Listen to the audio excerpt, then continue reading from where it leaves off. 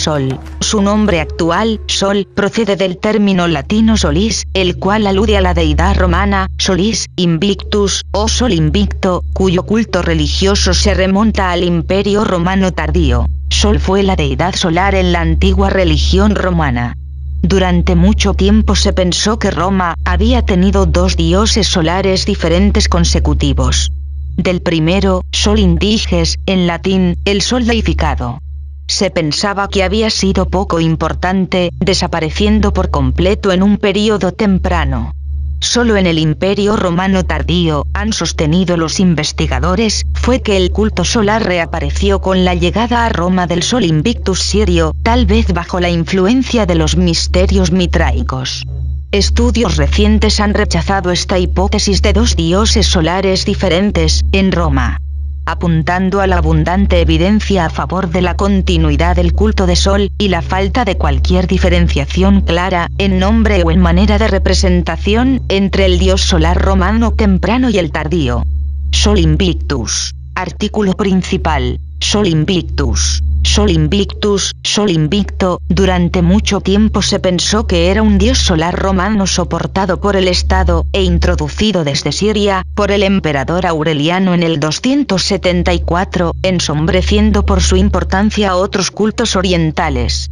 Sin embargo, esta evidencia, en el mejor de los casos es escasa, y la opinión de que Aureliano introdujo un nuevo culto del sol pasa por alto la abundante evidencia en monedas, imágenes, inscripciones y otras fuentes donde se observa una fuerte presencia del dios solar en Roma, durante todo el período imperial. No hay interrupción en el culto de Sol en Roma, ni ningún cambio en las representaciones del dios, lo que sugiere algún tipo de cambio significativo en tiempos de Aureliano. Es claro, sin embargo, que el culto del sol se hizo mucho más importante durante su reinado, con la institución de un nuevo colegio de pontífices para sol. Existe un cierto debate sobre el significado del 25 de diciembre para el culto de sol.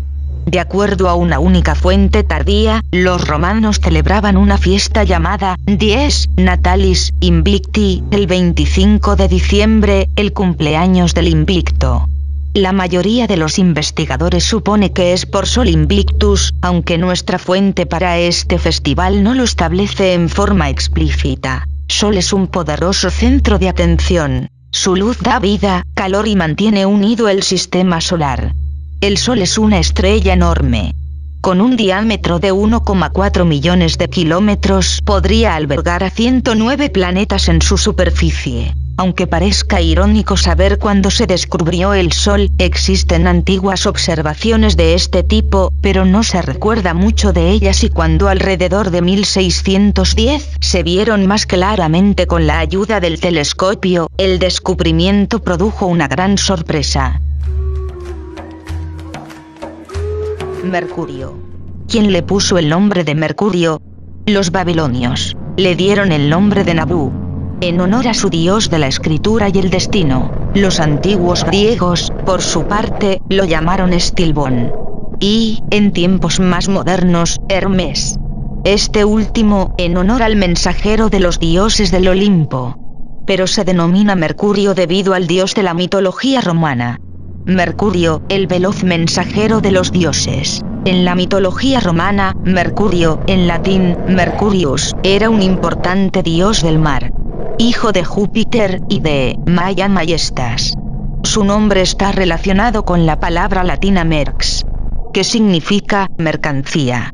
En sus formas más antiguas, parece haber estado relacionado con la deidad etrusca, llamada Turms pero la mayoría de sus características mitológicas se prestaron del dios griego análogo, Hermes. También es el dios de la elocuencia, mensajes, comunicación, incluida la adivinación, viajeros, fronteras, suerte, artimañas y ladrones. Mercurio ha inspirado el nombre de varias cosas en cierto número de campos científicos, como el planeta Mercurio, el elemento mercurio y la planta mercurial.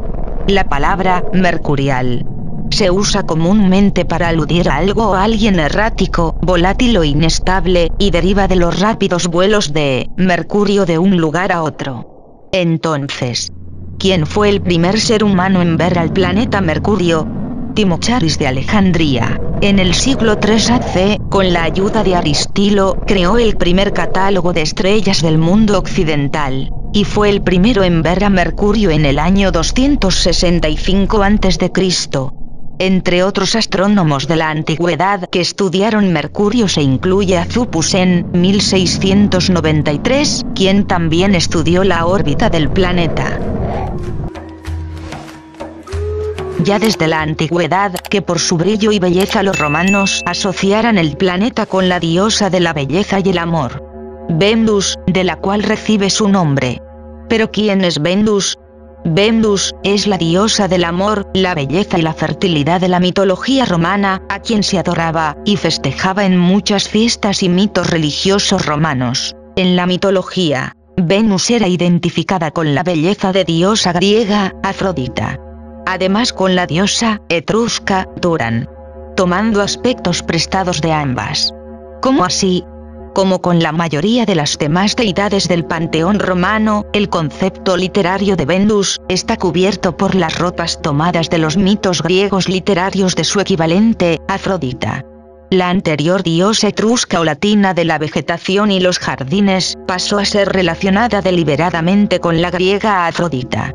Sin embargo, según la Eneida de Virgilio, como equivalente romano de Afrodita, Venus no llegó a tener una personalidad tan marcada en su sensualidad o crueldad como la griega. Aunque conservara sus atributos y símbolos, como la famosa manzana dorada de la discordia. Venus, el segundo mundo.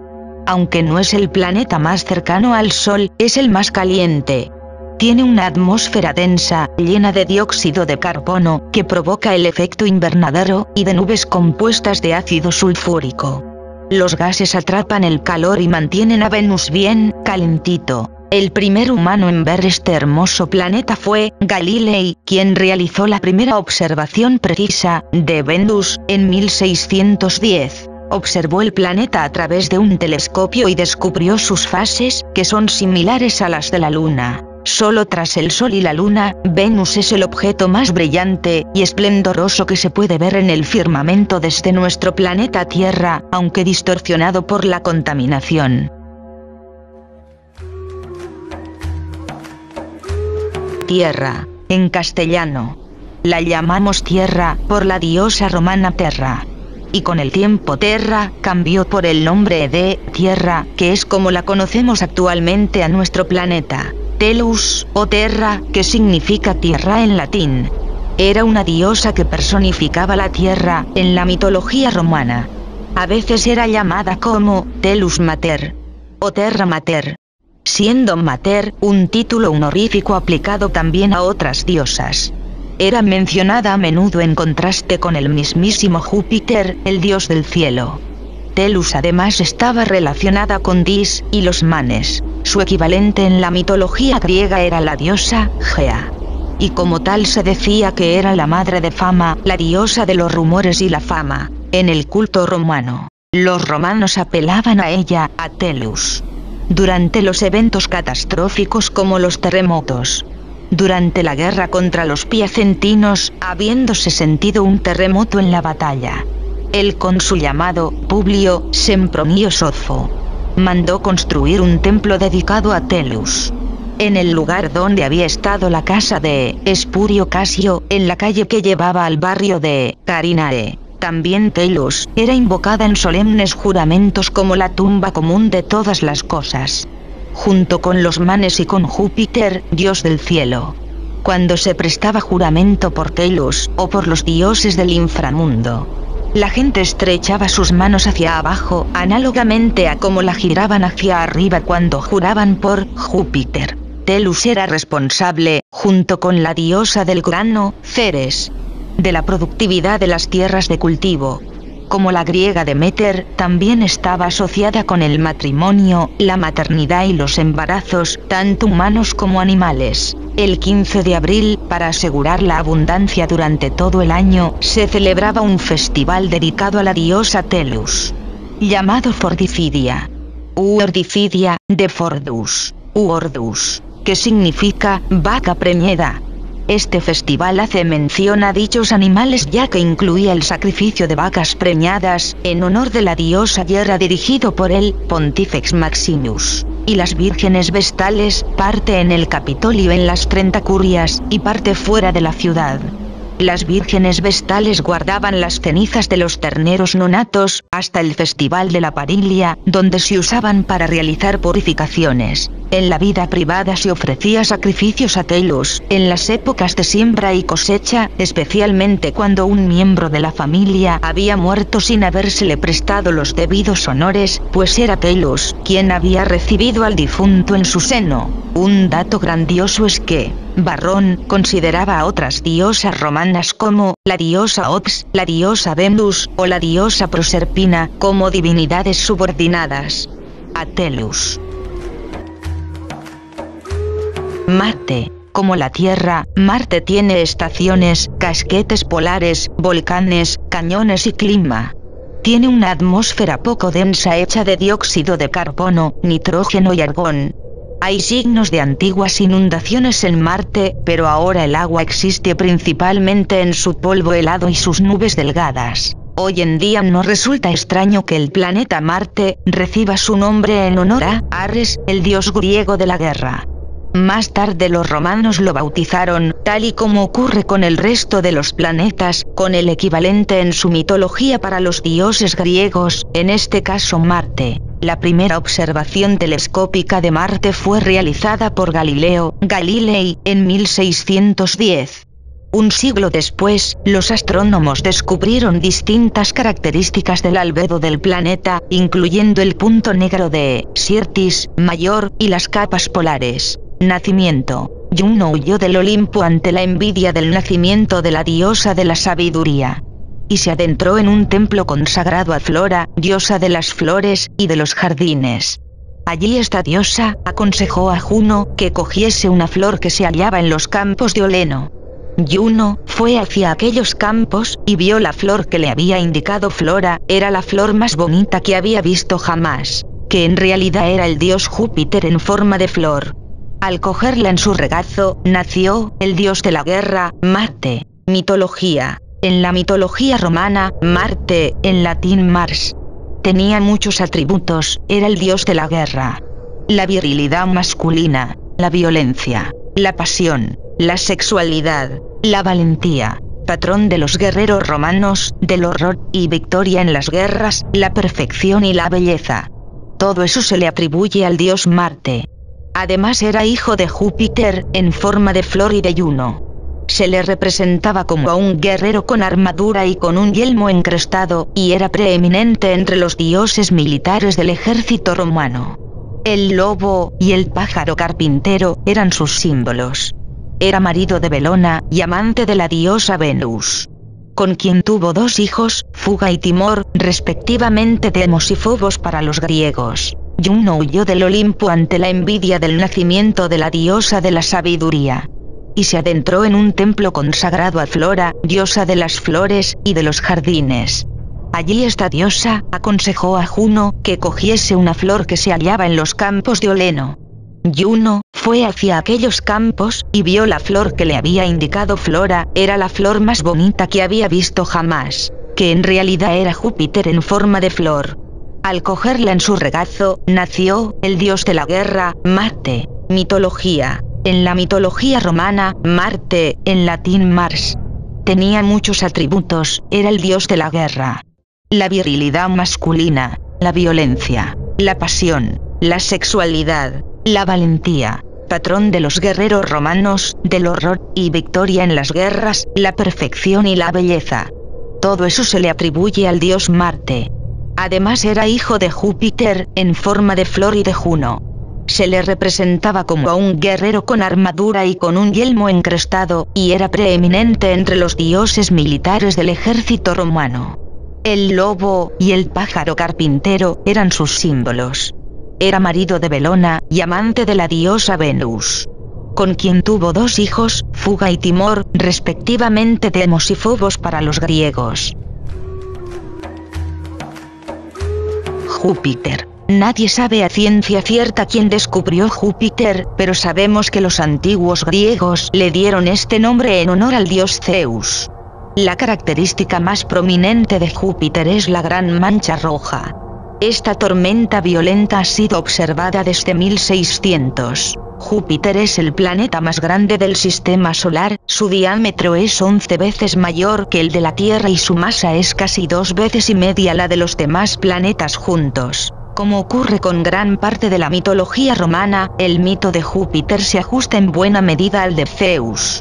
De la mitología griega, con préstamos de la mitología etrusca y con elementos nativos lacios. Originariamente se consideró a Júpiter un dios del cielo, del clima y los ciclos agrarios.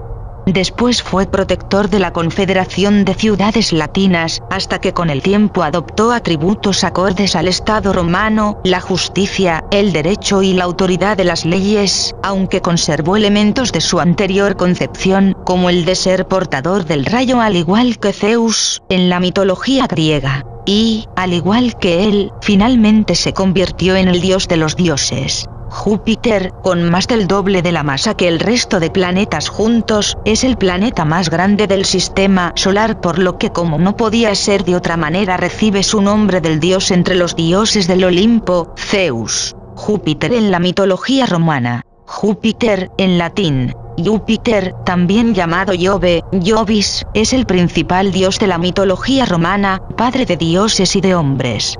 Pater, Deorum, et Omninum. Su equivalente griego es Zeus, en griego antiguo, Zeus, aunque esta deidad latina no fue tomada de la mitología griega, como sí ocurrió en otros casos. Sus atributos son el águila, el rayo y el cetro. En la actualidad, el dios Júpiter es adorado por grupos religiosos de reconstruccionismo pagano, como el camino romano a los dioses. Nova Roma, entre otros, que buscan la renovación de la religión romana antigua hijo de Saturno, y Ops. Júpiter fue la deidad suprema de la triada capitolina, integrada además por su hermana y esposa, Juno, y por su hija, Minerva. El culto a Júpiter, de probable origen sabino, fue introducido en Roma por Numa Pompilio. En el mayor templo romano, construido en su honor, en la colina capitolina. Fue venerado como Júpiter, Optimus Maximus que significa Júpiter, el mejor y más grande, protector de la ciudad, de quien emanan la autoridad, las leyes y el orden social. Cicerón le llama Numen, prestantissimae, mentis, que significa la sobrecogedora presencia de una mente suprema.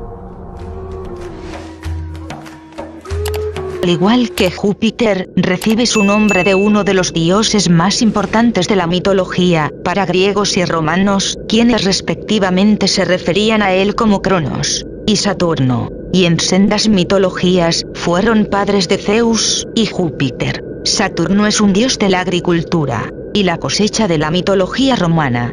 Fue identificado en la antigüedad con el titán griego Cronos, entremezclándose con frecuencia los mitos de ambos. Aunque Saturno cambió enormemente con el tiempo debido a la influencia de la mitología griega, era también una de las pocas deidades claramente romanas que retuvieron elementos de su función original. En el mito, Satre fue un dios etrusco que aparece nombrado en el hígado de Piacenza, una figura de bronce utilizada por los arúspices que contiene unos 40 nombres de divinidades en etrusco. Quizá de ahí proviene su denominación, aunque podría ser, inversamente, una mera traducción desde el latín. Saturno era representado como un anciano, con larga y espesa barba blanca, con una hoz en la mano. Es el emblema del tiempo y lo simboliza como algo muy antiguo que todo lo destruye y acaba. Los griegos consideraban el cielo como el más antiguo de los titanes y le daban el nombre de Urano, homólogo del dios romano Caelo, o el cielo del firmamento y de la diosa romana, Telus, o antigua Cibeles, o la tierra, hubo dos hijos, Titán y Saturno, de los cuales el segundo es el menor. Saturno obtuvo de su hermano mayor Titán el favor de reinar en su lugar pero puso una condición. Saturno no debía criar hijos. Se casó con Ox, Rea, con quien tuvo varios hijos, pero por causa del pacto que había suscrito con su hermano decidía devorarlos. Ops ocultó a Júpiter, a Neptuno y a Plutón y los hizo criar en secreto mostrando solo a su hija Juno. Titán descubrió el engaño y lo puso en una cárcel junto con su esposa. Una vez adulto, Júpiter hizo la guerra a su tío Titán derrotándolo, y devolvió el imperio del cielo a su padre Saturno. Saturno trató de matar a su hijo Júpiter, pero este le venció y se apoderó del imperio del cielo. Así la dinastía de Saturno y Ox perduró en detrimento de la de Titán. El mito concluye con que Saturno quedó reducido a la condición de simple mortal, yendo a refugiarse al Lacio, donde puso orden entre los hombres y les dio leyes. Otra versión dice que fue bien recibido por Jano, rey del Lacio. Saturno, el planeta de los anillos. En la antigüedad Saturno era considerado el planeta más distante de los cinco conocidos. En 1610, el astrónomo italiano Galileo Galilei lo observó por primera vez a través de un telescopio y para su sorpresa, descubrió dos objetos flanqueando el planeta. Es el planeta más plano de todos. Esto se debe a su baja densidad y rápida rotación. Saturno gira sobre su eje una vez cada 10 horas y 34 minutos, lo que redunda en que tiene el segundo día más corto de todos los planetas del sistema solar. El séptimo planeta del sistema solar recibe su nombre en honor a Uranos, uno de los titanes primordiales. En la mitología griega, y la cual personificaba el cielo. En la mitología griega, Urano, en griego antiguo, Uranos. El cielo. Latinizado como Uranus, es un dios primordial personificador del cielo. Su equivalente en la mitología romana era Caelus. En la griega, Urano era hijo y esposo de Gea, la madre tierra que, según cuenta Hesíodo en la Teogonía, había concebido a Urano por sí misma. Urano y Gea fueron los padres de la primera generación de titanes, así como los ancestros de la mayoría de los dioses griegos. Sin embargo, ningún culto específico de Urano, quien sobrevivió en la época clásica. Con todo, Urano podía aparecer en algunas invocaciones solemnes junto a Gea y Estigia. Una parte histórica de Urano es la castración de Urano. En la Teogonía, Hesíodo narra que Urano retenía a sus hijos en el seno de su madre cuando estaban a punto de nacer. Gea urdió un plan para vengar el ultraje. Talló una hoz de pedernal y pidió ayuda a sus hijos. Solo Crono, el menor de ellos, estuvo dispuesto a cumplir con su obligación, emboscó a su padre cuando yacía con su madre, lo castró con la hoz y arrojó los genitales tras él. Al salpicar la sangre, Gea la recogió, y de ella surgieron los gigantes, las erinias y las melías. Los genitales de Urano produjeron una espuma de la que nació Afrodita. Urano vaticinó que los titanes tendrían un castigo justo por su crimen, anticipando la victoria de Zeus sobre Crono. La biblioteca mitológica recoge una versión diferente, en la cual Urano arroja a sus primeros hijos, los hecatónquiros y los cíclopes, al tártaro, y Gea, irritada, persuade al resto de sus hijos, los titanes, para que ataquen a su padre con la hoz. Derrotado el dios Urano, los titanes rescatan a los arrojados en el Tártaro para que aseguren el dominio de Crono, el nacimiento de Zeus. Según la Teogonía y la Biblioteca, Gea y Urano habían vaticinado que Crono sería derrocado por uno de sus propios hijos, y así el titán intentó evitar su destino devorando a su descendencia. Ambos, mediante un engaño, ayudaron a Rea a salvar a Zeus, y este posteriormente liberó a sus hermanos y logró derrocar a su padre, consortes y descendencia. Con Gea, tuvo Urano a todos sus hijos excepto las que nacieron al arrojar al mar, Talasa, Crono los genitales que le había extirpado. En algunas tradiciones, Afrodita Urania. En otras, las Erinias. Por otra parte, de la sangre de Urano y de la noche nació Lisa, personificación de la locura Urano. El 13 de marzo de 1781, William Herschel escribió en su cuaderno de observaciones que había observado en Géminis una curiosa estrella difusa que era visiblemente más grande que el resto de las estrellas en el mismo campo de visión Urano, tiene una atmósfera densa hecha de metano, hidrógeno y helio. Es el único planeta que rota de lado da vueltas en la dirección contraria a las de la Tierra y de la mayoría de los planetas. Neptuno fue, curiosamente, el propio Le Verrier fue quien sugirió el nombre de Neptuno, el dios romano del mar, su equivalente griego es Poseidón. Neptuno es un dios de la mitología romana, pero proveniente de la mitología griega, hijo de los dioses Saturno y Ops, hermano de Júpiter y Plutón. Gobierna todas las aguas y mares y cabalga las olas sobre caballos blancos. Todos los habitantes de las aguas deben obedecerlo. Entonces, porque Neptuno es el dios del mar, Neptuno eligió el mar como morada, y en sus profundidades existe un reino de castillos dorados. Con su poderoso tridente agita las olas, hace brotar fuentes y manantiales donde quiera y encausa su ira provocando los temibles sismos o terremotos. Representaciones de Neptuno, en mosaicos romanos, especialmente los del norte de África, están influidas por las convenciones helenísticas. Neptuno probablemente fue asociado con manantiales de agua dulce, antes que el mar. Al igual que Poseidón, fue adorado por los romanos también como un dios de caballos, bajo el nombre de Neptuno ecuestre, patrón de las carreras de caballos. Este dios, es un rey inseparable de sus caballos.